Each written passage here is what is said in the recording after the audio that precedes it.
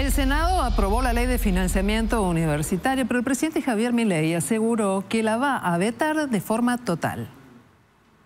El Congreso sancionó la ley que le otorga a las universidades más de 700 mil millones de pesos para su financiamiento. Fueron 57 los votos a favor contra solo 10 que se opusieron a esta sanción. Hubo una abstención. Se trata de una ley que actualiza las partidas presupuestarias para cubrir gastos de funcionamiento, de investigación, extensión universitaria y sin embargo el presidente ya advirtió que será vetada. Lo que manifestó el presidente Javier Milei se pudo observar en su cuenta de la red X. Allí el eh, presidente Milei sostuvo veto total en el momento en el cual retuiteó una, una, declaración de Alejandro Álvarez, que es el encargado dentro del gobierno de trabajar la problemática universitaria. La última palabra sobre el veto la tiene el presidente Milei como corresponde. Y la última palabra fue Veto total.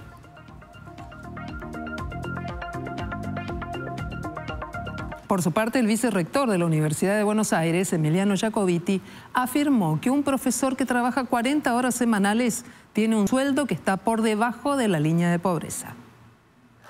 Emiliano Jacobiti lo afirmó en una entrevista radial en la que celebró la ley de financiamiento universitario aprobada ayer. Además, recalcó que los salarios docentes perdieron poder adquisitivo en los últimos ocho meses.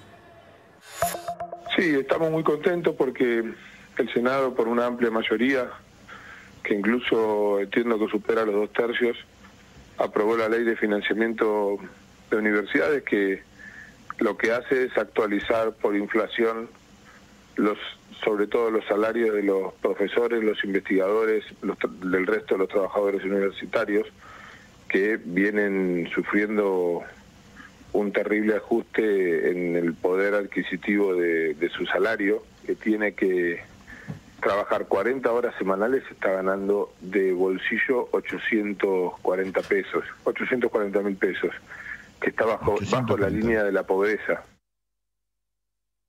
Y esta tarde la expresidenta Cristina Fernández de Kirchner disertó en la Universidad Nacional del Oeste y entre otras cosas saludó a los senadores y a las senadoras que anoche le dieron sanción a la ley de financiamiento universitario. Además habló de los mediocres que critican a las universidades públicas.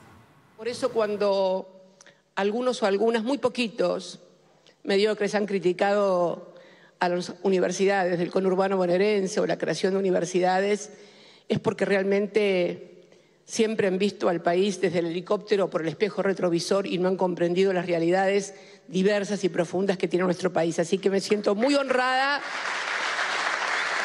muy honrada de este honoris causa.